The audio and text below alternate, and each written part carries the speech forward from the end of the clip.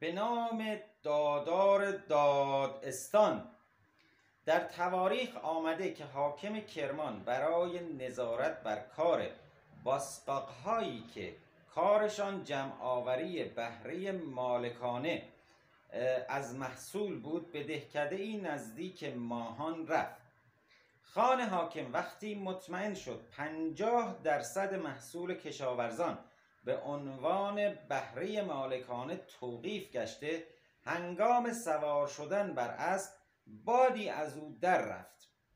کت خدا که متوجه محل صدور باد گشته بود لبخندی زد و زیر لب چیزی گفت که خان حاکم را خوش نیامد.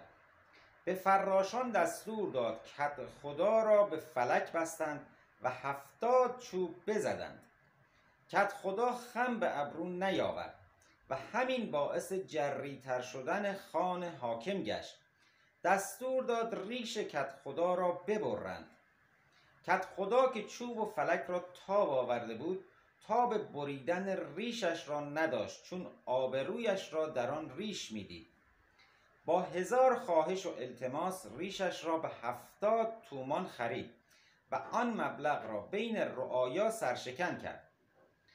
از آن پس در ایالت کرمان و فارس گرفتن آن هفتاد تومان از کت خدای هر دهکده تحت عنوان حق بیادبی یا حق چوب مرسوم گشت. حالا این گشت ارشاد هم در دوره ما نقش همون حق بیادبی یا حق چوب رو برای این آقایون داره.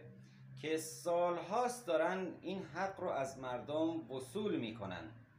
برای اینکه اگر بادی ازشون در رفت جرأت نفس کشیدن نداشته باشن. هیچ کس نتونه حرفی بزنه.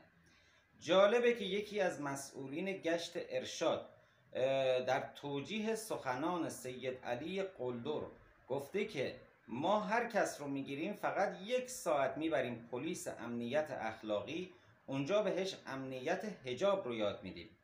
در اینکه این آقا داره دروغ میگه خب هیچ شکی نیست. همه می‌دونن. از زمانی که طرف رو می‌گیرن تا زمانی که طرف از اونجا بیرون میاد بهش توهین می‌کنن و مرتب تحقیرش می‌کنن. البته اگر بتونه بیرون بیاد.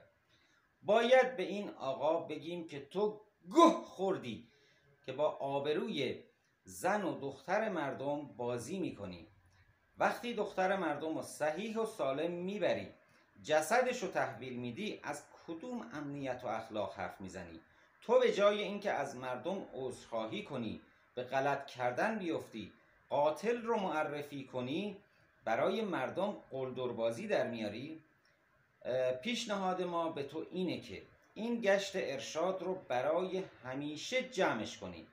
مردم ما به خصوص زنان ما به حدی از رشد و بلوغ فکری رسیدن که نیازی به ولی و قیم ندارد.